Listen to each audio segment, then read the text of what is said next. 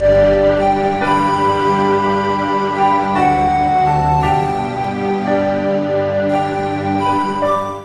начинаем девятую лекцию по теме введения в Ветхий Завет.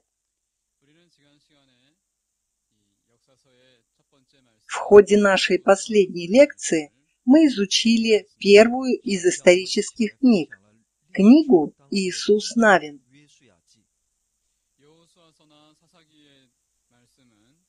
Иисус Навин и книга Судьи в основном повествуют о завоевании Ханаана. Эти книги не только о покорении земли, но и о самой земле, обещанной Аврааму, предку Израиля.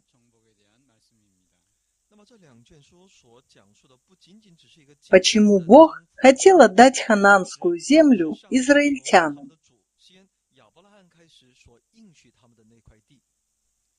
Причина в том, что Он желает народу стать святым царством священников, через которое благословятся все народы.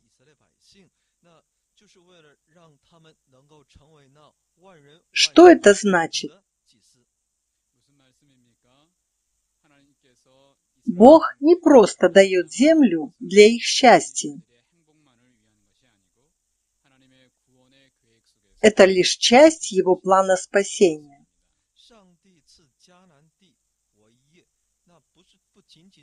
Пожалуйста, вспомните, чему я учил и что толковал в наших лекциях «Введение Ветхий Завет».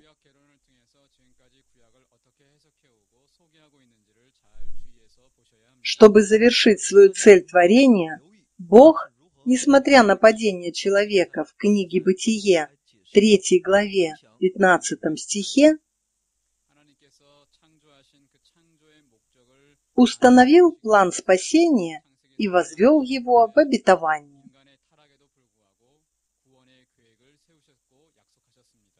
Ветхий Завет описывает Божью работу спасения перед пришествием Христа и учит тому, для чего он должен прийти.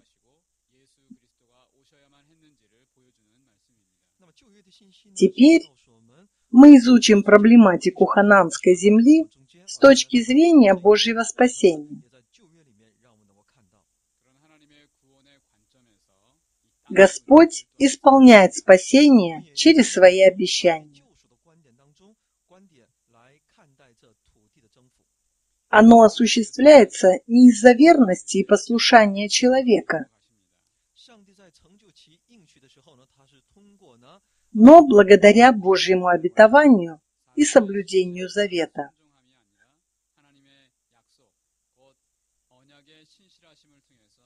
В книге Иисус Навин Бог дает людям обетованную хананскую землю.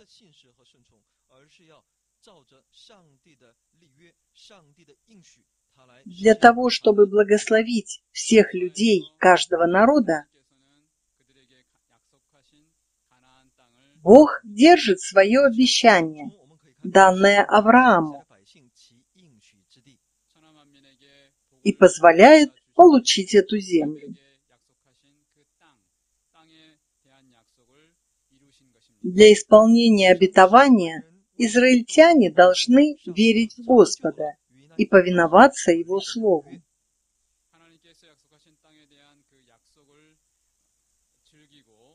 Поскольку в книге Иисус Навин евреи уверовали в Божье Слово и по большей части повиновались, они получили много земли. Однако, когда Иисус Навин был близок к смерти, все еще оставались незавоеванные места.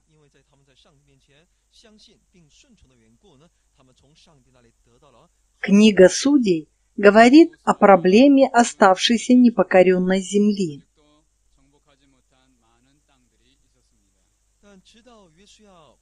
Иисус Навин советует израильтянам, как овладеть оставшейся частью Ханаана.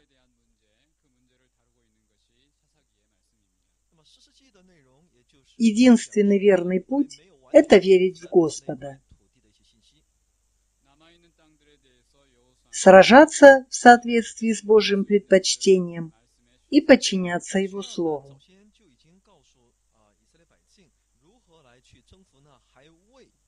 Первой главе книги Судей евреи игнорируют эти советы.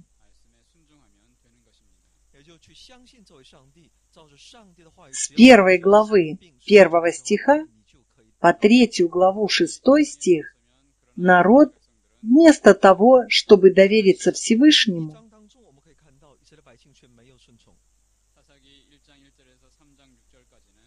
заключает союз с хананеями,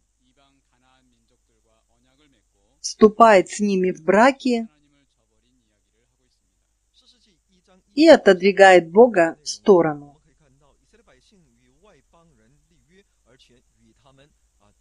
Даже после того, как израильтяне отошли от Бога и заключили союз с чужестранцами, Всевышний не оставил их. Он послал им страдания и наказания.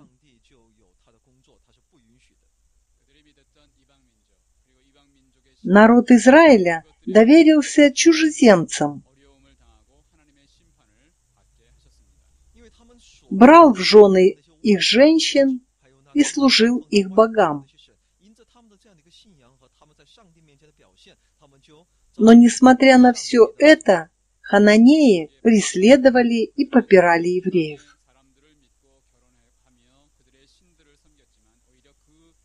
Израильтяне, находясь в трудной ситуации, взывали к Господу.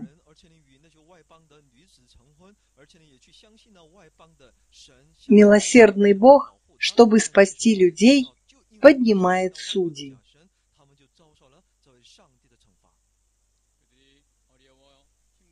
После спасения евреи снова возвращаются к чужим богам и народам. Господь раз за разом избавляет их. Но израильтяне продолжают повторять свои ошибки.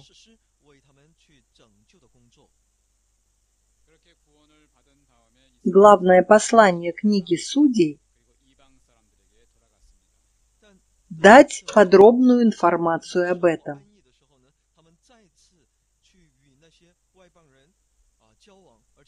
Таким образом, время после смерти Иисуса Навина до начала правления царей называется периодом судей.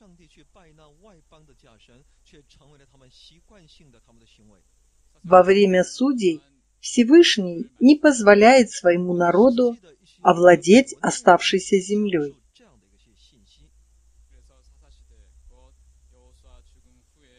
Период судей включает в себя историю падения израильтян.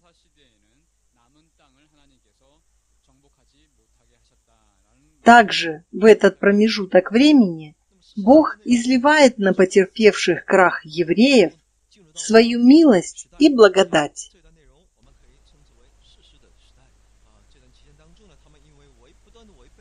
Главное послание книги Судей начинается с Гафаниила и представляет шесть основных судей.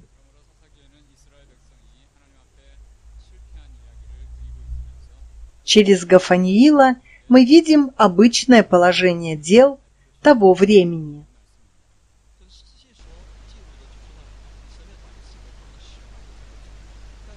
Потомки Израиля, делающие зло перед Господом, были наказаны Богом и жили в нужде. Но когда они начали взывать к Всевышнему, он дал избавителя Гафаниила, спасшего их.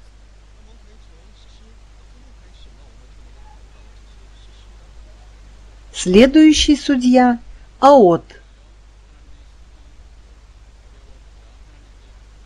Он был необычным человеком.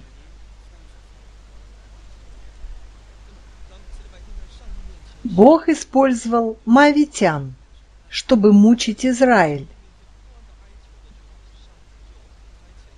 который отказался от него и служил чужим богам. Когда люди воззвали, Господь для спасения израильтян использовал левшу Аода.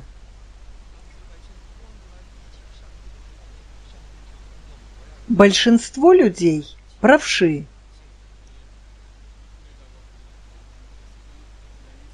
Мы видим особую Божью суверенную работу спасения в том, что Он использует человека-левшу для освобождения Израиля.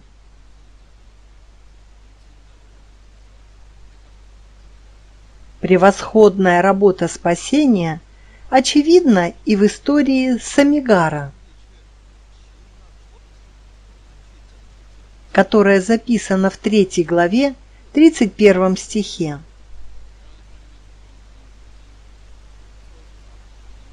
Самигар не был известным человеком и даже не знал, как пользоваться мечом.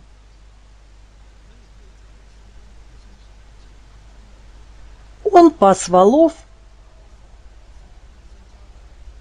и убил 600 филистимлян воловьим рожном.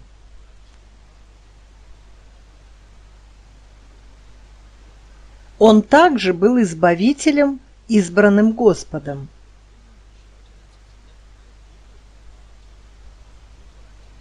Все это происходит в то время, когда в четвертой главе появляется судья Дивора.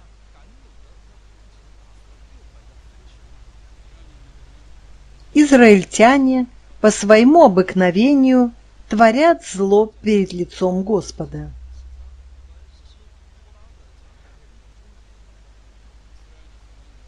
Он предает их в руки царя Иовина, который вторгается в земли израильтян.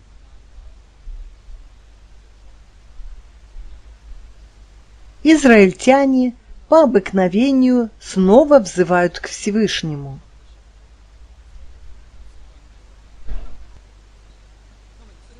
В это время Бог хочет спасти Израиль через Девору.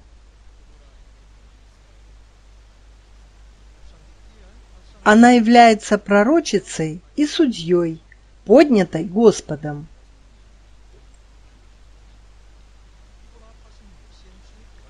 Девора приказывает Вараку вступить в войну и спасти Израиль.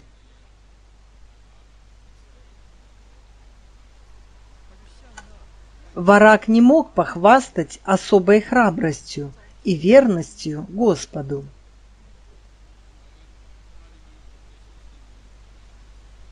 Он просит пророчицу пойти с ним и присутствовать при битве.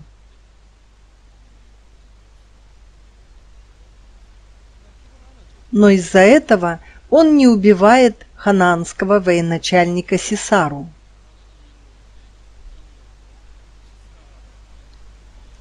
Сесара погибает от руки иноземки Иаиль.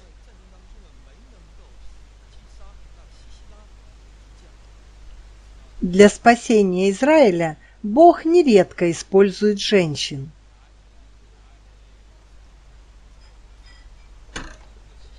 В конечном счете спасение Израиля зависит от Господа.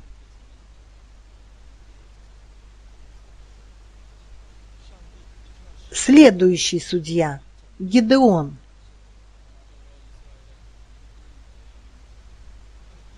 Во времена Гедеона люди оставляют Бога и служат чужим божествам.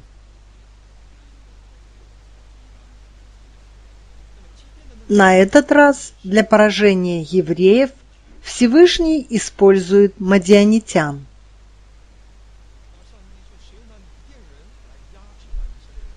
И снова израильтяне взывают к Богу.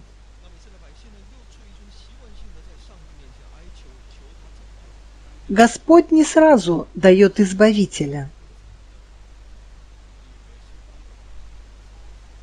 Но посылает пророка, который объясняет причину наказания.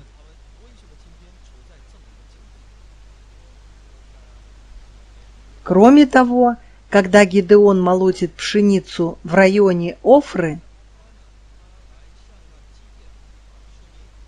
ему является ангел Господа.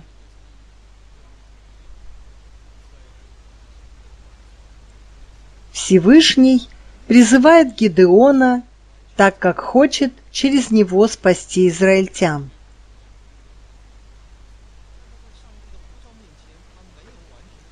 Однако тот повинуется не сразу.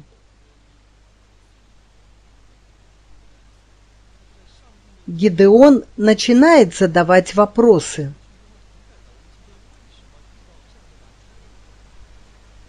Он спрашивает ангела о том, почему они находятся в таком бедственном положении, если с ними Бог.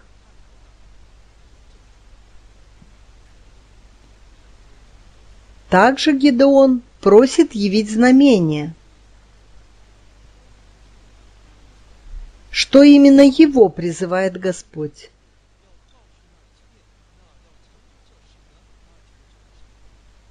Сжигая огнем жертву, возложенную на скалу, Всевышний показывает ему,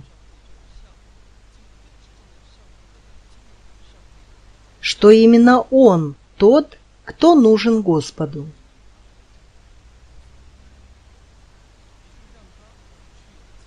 Далее Бог дает Гидеону указания.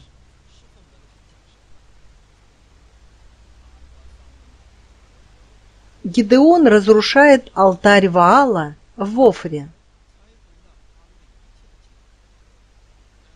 Алтарь, которому поклоняется его отец –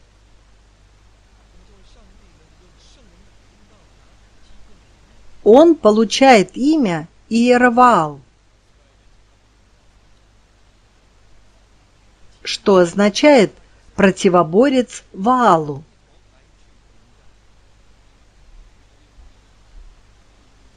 Святой Дух Божий сходит на Гидеона.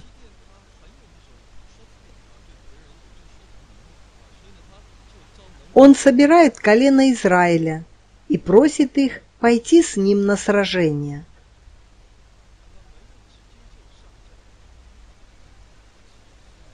Как дипломат Гидеон набирает 32 тысячи воинов.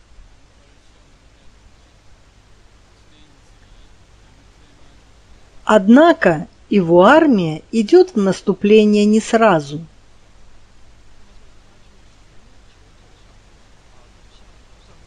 Гидеон вновь испытывает Бога.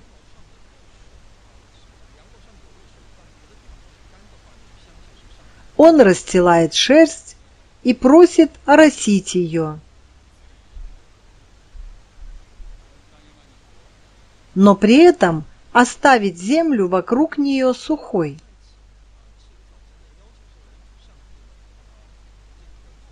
Господь исполняет его просьбу. Но и этого Гидеону кажется мало.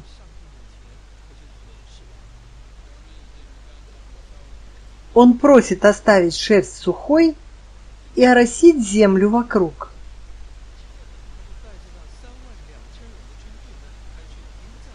И снова Всевышний дает знамение.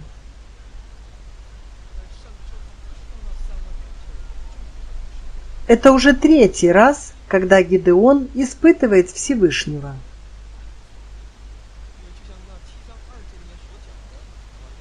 Он приводит свою армию из 32 тысяч человек на вражескую территорию.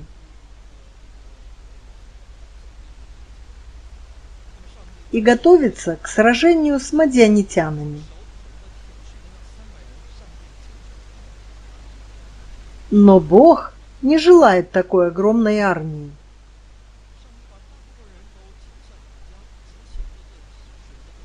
Книга Судей, 7 глава, 2 стих, показывает нам причину.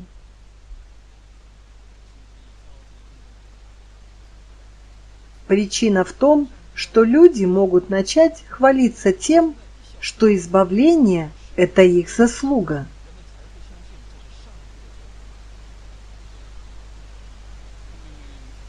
Господь выбирает 300 человек, которые пьют воду из ладоней.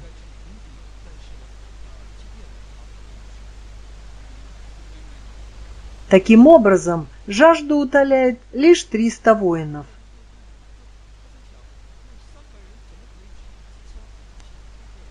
Это совсем небольшое количество. Если бы израильтяне выиграли с таким числом, то поверили бы, что победу им дал Бог. И осознали бы того, кто вел их к победе.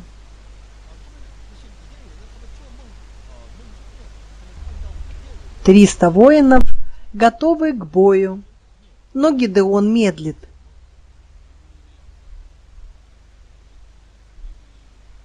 Он боялся, потому что не верил, что сможет победить с таким количеством мужчин.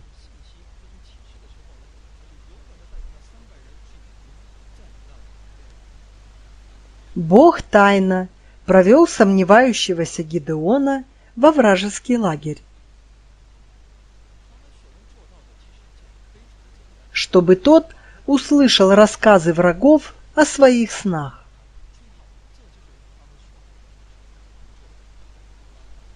Мадианитяне в страхе рассказывали, что в их снах Гидеон вторгся и убил всех.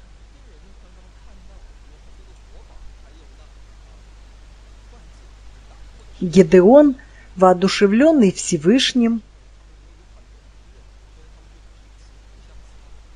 ведет 300 воинов, чтобы поразить врага на их территории.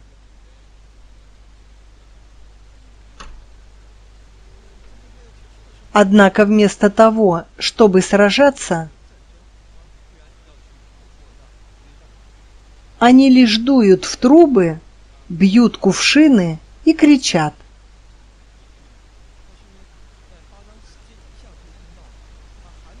слыша трубный звук и звук бьющихся кувшинов, вражеские солдаты в замешательстве начинают колоть друг друга мечами.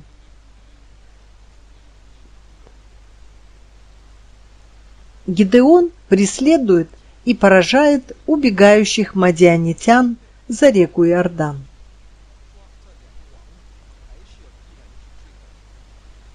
Если мы посмотрим на послание 8 главы 4 стиха, то узнаем, что Гидеон преследует остальных царей. Он гонится за Зевеем и Салманом. Гидеон и армия измотаны, голодны, но продолжают преследование.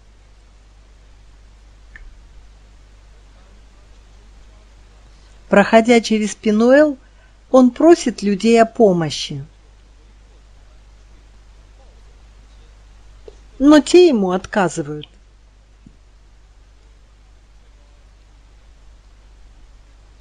Люди Сакхофа также отворачиваются от него.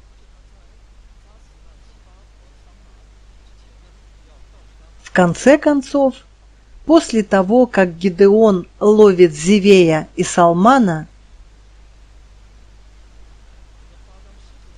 Он мстит народу Сакхофа и Пинуэла.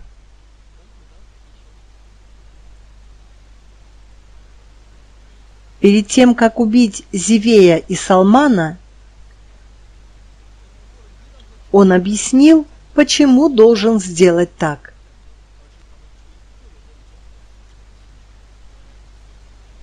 Книга Судей, 8 глава, 19 стих, говорит нам,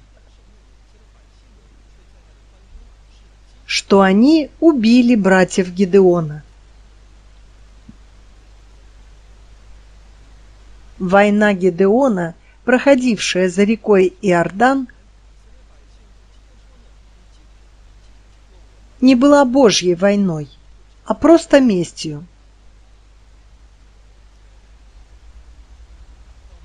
Видя его принципиальную месть, израильтяне начали утверждать, что спасение пришло от Гидеона.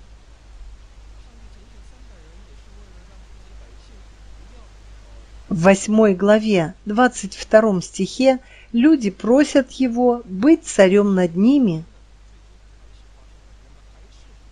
и благодарят за свое спасение.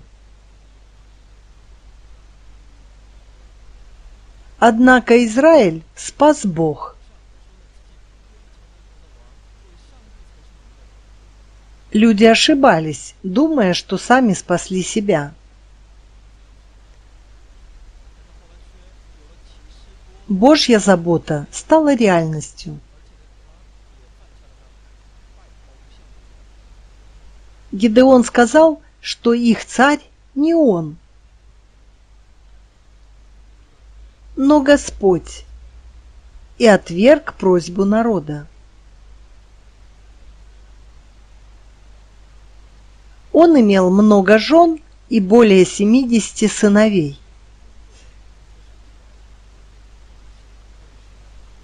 Гидеон стал человеком, используемым Богом для спасения Израиля.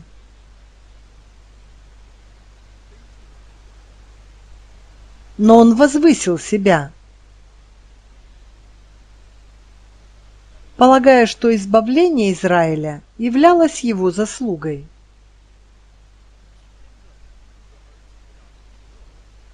В этом мы видим трагедию Израиля.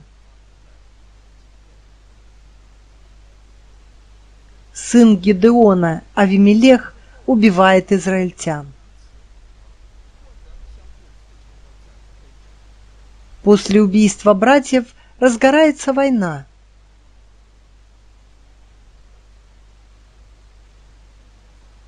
Если люди забывают о Божьем спасении и считают себя царями, то случается трагедия.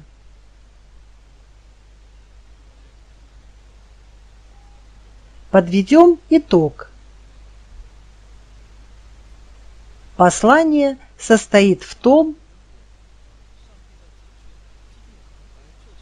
что Бог являет свою милость, благодать и спасает Израиль, несмотря на его злые дела.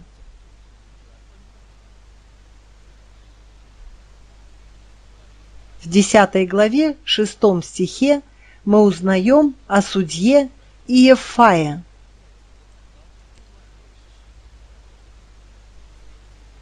Ввиду того, что израильтяне отвернулись от Господа, он послал аммонитян, и те напали на народ Израиля.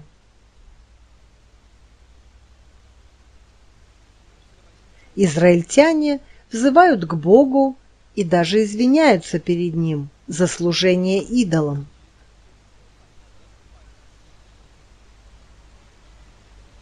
Еще до того, как Бог поднимает Избавителя, они сами его избирают.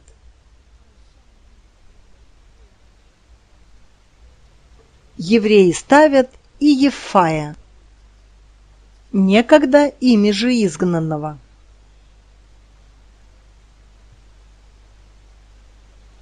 Иефай – сын наложницы. Он был изгнан из своего родного города. И впоследствии стал главой шайки грабителей. Израильтяне обратились к нему и просили его стать их военачальником в сражении против аммонитян.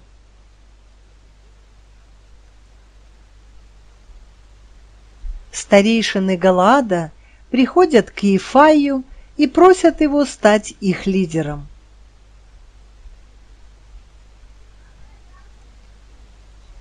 Он соглашается и идет на войну.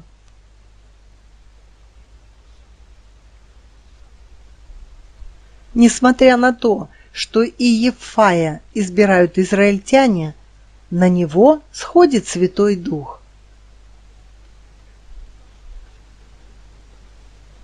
Святой Дух не приходит без цели.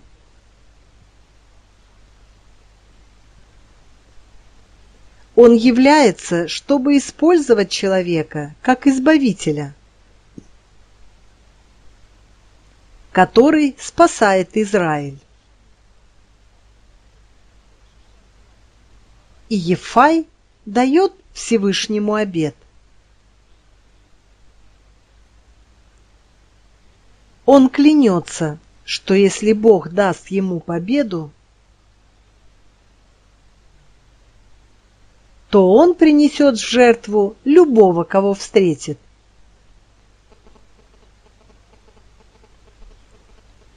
этот обет является неуместным.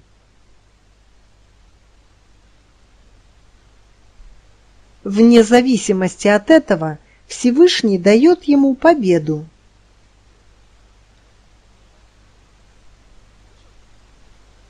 Тем человеком, которого он встречает после войны, становится его единственная дочь. и Ефай ошеломлен. Но в соответствии с обетом приносит свою дочь во всесожжение.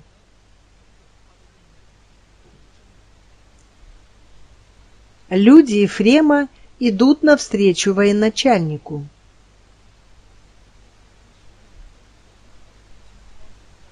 Если мы посмотрим на двенадцатую главу, то узнаем, что Иефай не зовет ефремлян на войну.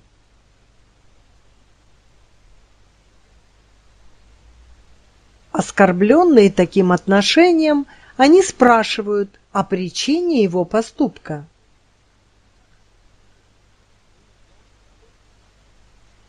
Но правда в том, что Иефай – прежде чем идти на сражение, просит их о помощи.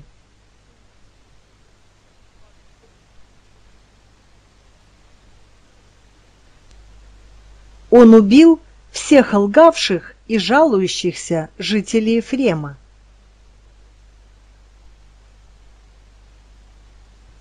Связи с тем, что Иефай имел менталитет жертвы, погибло много людей – но через него Бог также спас немало израильтян. Последним судьей, которого мы видим, является Самсон. Во время рождения Самсона народ Израиля совершает зло и живет без Бога.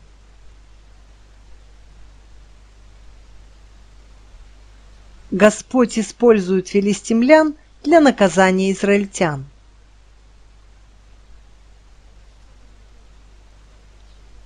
В 13 главе книги Судей мы видим нечто необычное.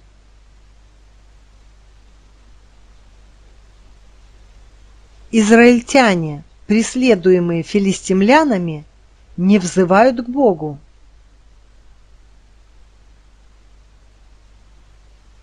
Но тем не менее, Всевышний поднимает того, кто их спасает.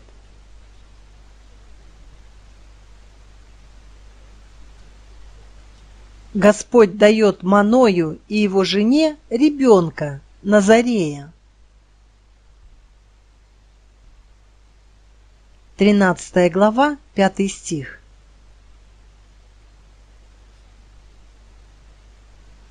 Посвященного Богу Самсона в качестве Назарея Всевышний использует для спасения израильтян. Бог приготовился освободить Израиль еще до рождения Самсона.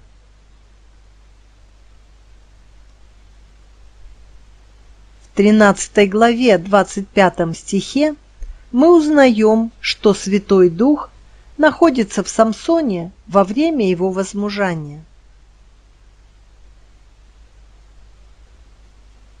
Самсон Назарей любил чужестранок больше, чем женщин своего народа. Он влюбился в Фимнафу, филистимлянку, и женился на ней.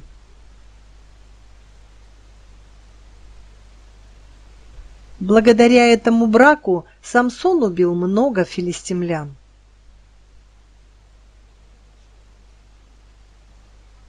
Из-за своей любви к женщине Самсон идет своим путем. Но через это Бог избавляет Израиль.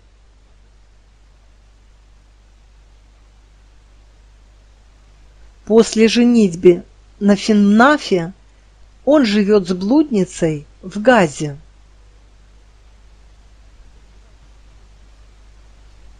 Кроме того, он полюбил Далилу.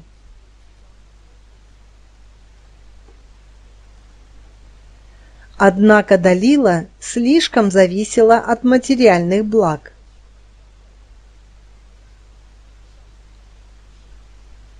Филистимляне попросили ее выяснить секрет силы Самсона.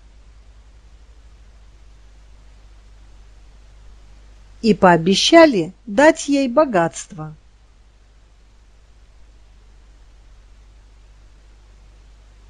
Самсон был человеком, используемым Богом и помазанным Назареем. Но он выбрал человеческое – и любил филистимлянку.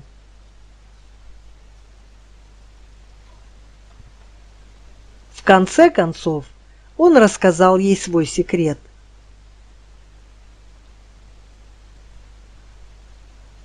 Его сила была заключена в волосах, которые он никогда не стриг. Далила стрижет голову Самсона – и он теряет свою силу.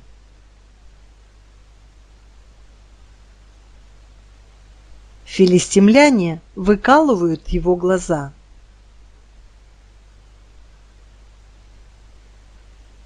Являются ли волосы секретом его силы?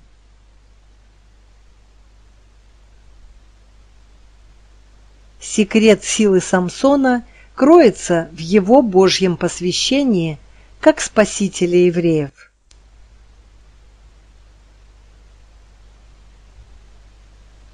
Господь оставил Самсона.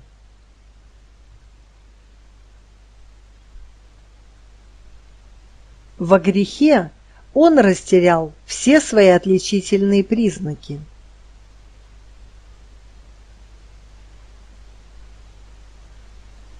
Если мы, живя в этом мире, качестве Божьего народа и веря в Иисуса. Не будем хранить свою веру, то незамедлительно потеряем силу.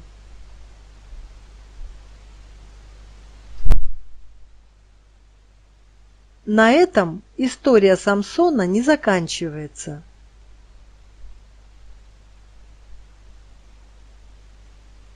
Он молится Богу.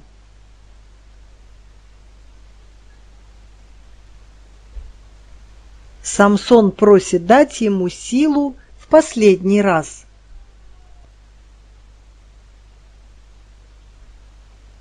Для того, чтобы наказать филистимлян.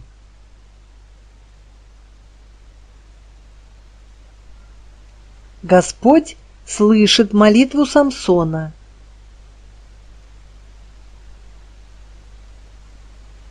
Он укрепляет его.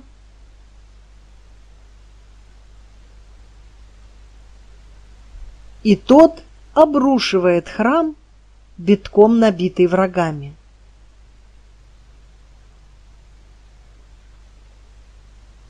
Самсон убивает больше филистимлян, чем когда-либо.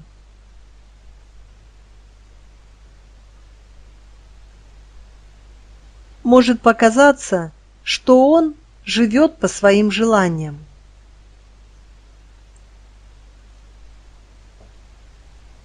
Но Бог использует его для избавления Израиля.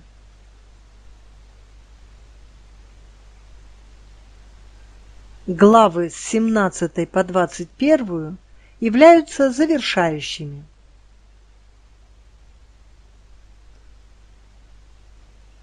Во-первых, 17 и 18 главы показывают нам,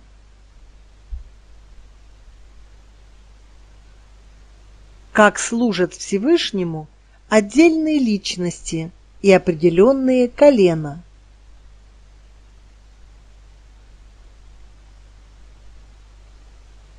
В 17 главе мы видим повторяющиеся стихи, подобные этому –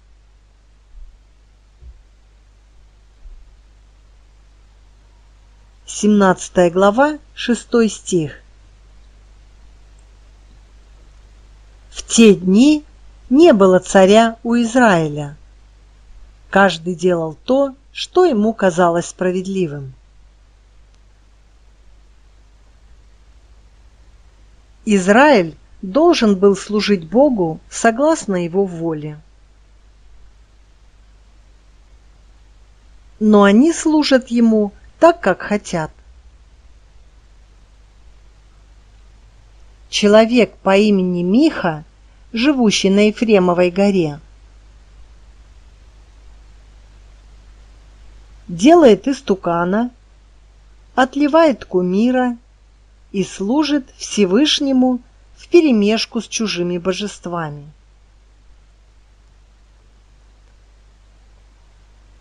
Люди из племени Дана приходят, забирают истукана и литого кумира Михи и служат Господу во грехе.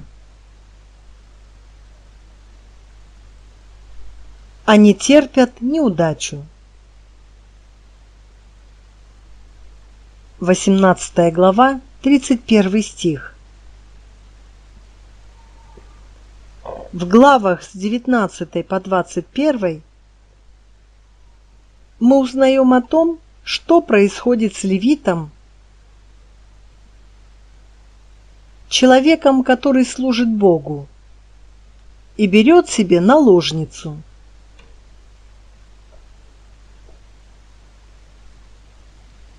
Когда наложницу левита убивают в Гиве, принадлежащей Вениамину, он все рассказывает народу Израиля.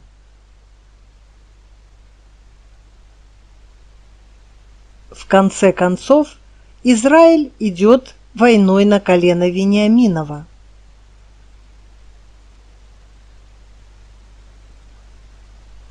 После двух войн племена Израиля проигрывают колену Вениамина.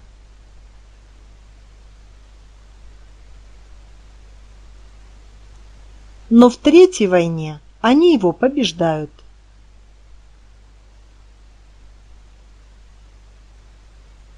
Все, кроме 600 человек из племени Вениамина, умирают. И колено находится на грани исчезновения.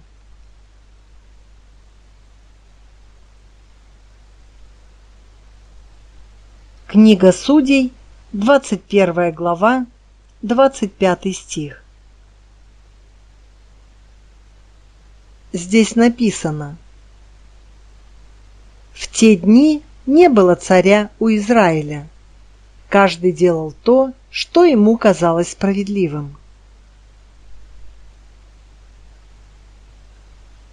Каким временем был период судей?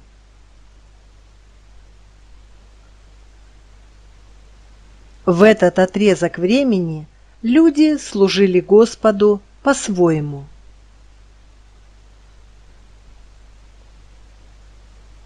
Они захватывали землю, данную Богом, так, как хотелось им.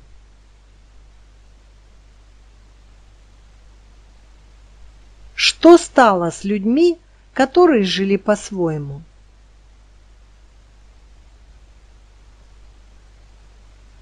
Они потеряли свои отношения с Господом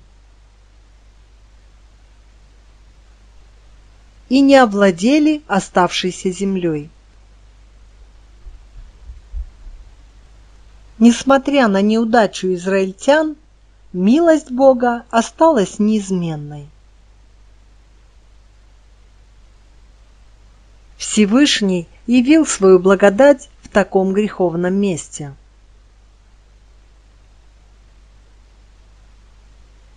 Также он спас и защитил евреев.